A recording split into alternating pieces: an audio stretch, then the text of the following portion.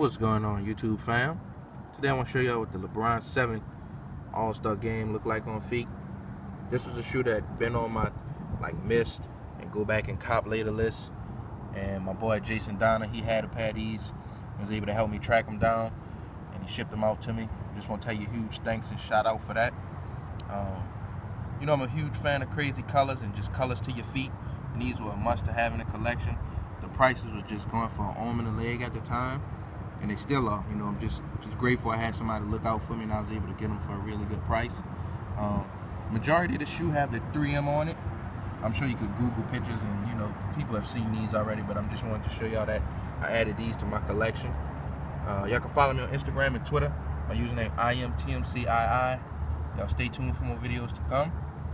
Uh, check out my YouTube channel. I have tons of videos of kicks on feet all organized and sorted by playlist.